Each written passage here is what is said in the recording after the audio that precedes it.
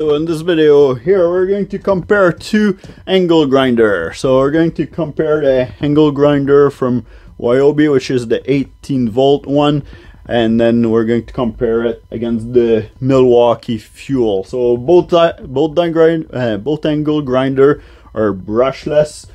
Uh, model number for the Milwaukee here is the 2780 dash 20 and then for the Ryobi one model number PBLAG01 so both of those die grinders are about the same size.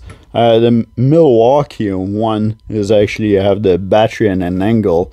So you cannot just leave it on the bench like this it's gonna fall so in an angle, it's about the same height than the uh, the Ryobi one, but uh, if you put it straight, then it is way taller. Now, both head are similar in size. Now, the Milwaukee one only have uh, two side that you can actually screw in the handle, while the Ryobi one have three sides that you can screw in the handle.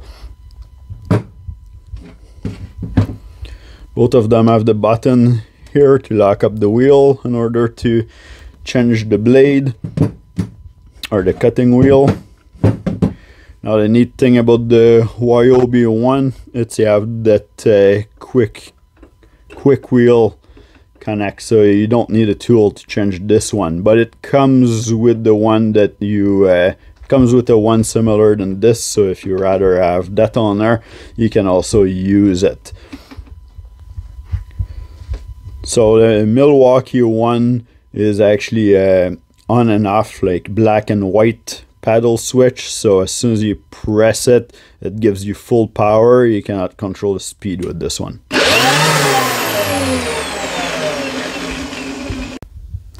The Ryobi one is exactly the same. A paddle is black and white, so on and off you cannot control the speed. It's full power as well. The Milwaukee tool have vent at the top here on the head and also vent at the bottom of the handle here to let your tool breathe so it doesn't get too warm in here. Um, Ryobi one have the vent at the top of the head as well. And uh, not at the bottom but actually into the middle of the handle here just above your end. Now did I just hear you say like who cares about all this? We want to know how it cuts. Well I got a rod right here so let's do that. Now if you're a transport truck mechanic, you might recognize this here. This is from a push rod for your brake system. So this is what we're going to cut today. So the first cut that we're going to do today is actually with the Ryobi one and this is a 4 amp hour battery. It is fully charged.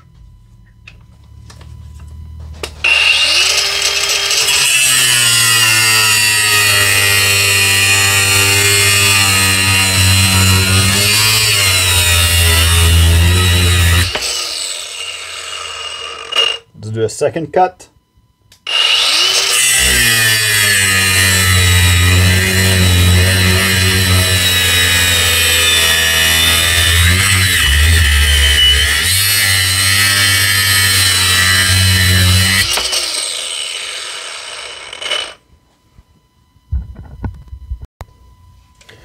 Now for the Milwaukee, I took the same blade that we had on the Ryobi one, so there's no difference here. And I actually stole the quick connect for this. And uh, the battery here is fully charged. So you can see.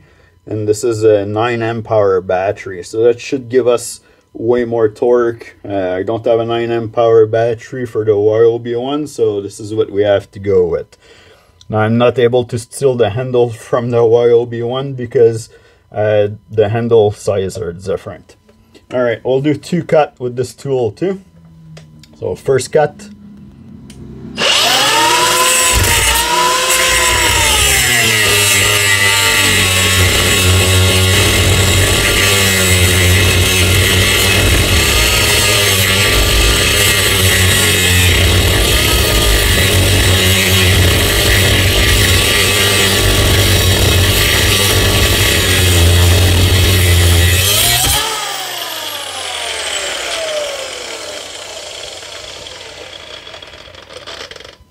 Do a second cut.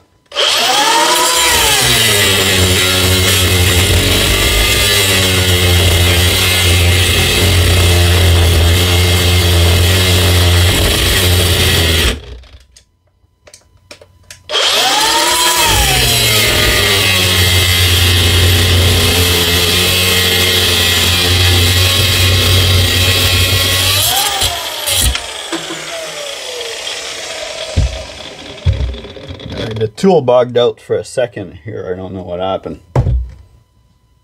It's wrapping this video here. I don't know which one cut the fastest. I'll have to edit this and post it up here. Um, but both uh, angle grinder cut great. Uh, both of them feel about the same. Now, I don't know why this tool bugged out here and might have been the battery. It might have been maybe I didn't have it super straight and then I bind the blade in there.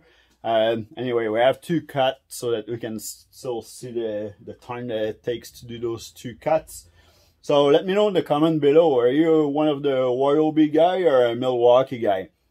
Now, of course, I know it depends of your battery system, right? Because usually you'll invest more into the tools that you already have lots of battery of. So I guess you can consider me the Ryobi guy. I'd like to say a big thanks to my friend Tristan from work for letting me borrow all of those tools in order to do some uh, quick review and comparison video for you. And uh, yeah, there's a lot more tools to come, a lot more tools to compare. So stay tuned, subscribe, and we'll see you in the next videos.